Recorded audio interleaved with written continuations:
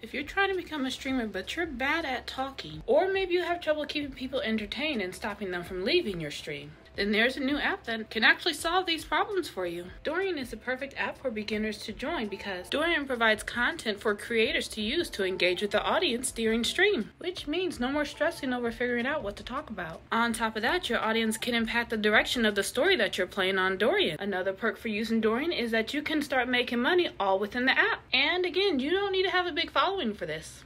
So, the way that works is when you schedule your stream on Dorian, it's then pushed to everyone that's actively on the platform. So, once you start your stream, anyone and everyone can join. Fans can also help show their support by leaving hearts directly in the app without having to leave the platform. So, Dorian is here to help beginner creators start monetizing their stream all on day one.